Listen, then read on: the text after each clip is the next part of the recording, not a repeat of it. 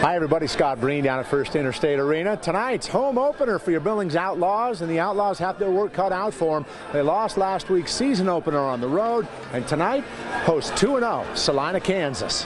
Former Outlaws coach Heron O'Neal now coaching Salina, but not on the field, serving the first of a two-game suspension. Pick it up first quarter, tied at seven. Last play of the quarter, Tyree Adams, easy touchdown for a 14-7 Salina lead. Second quarter, watch Dylan Donahue. Darts in for the strip sack. Ball squirts into the end zone, recovered by the Outlaws for a touchdown. Donahue and the defense rightfully all jacked up. Now the offense goes to work. Charles McCullum from midfield lobs a beauty to Gary Brown for the lead. Next possession, same combo. Looks like deja vu, only McCullum somehow threads a tighter needle and Brown somehow comes down with it. Outlaws up by a pair of touchdowns.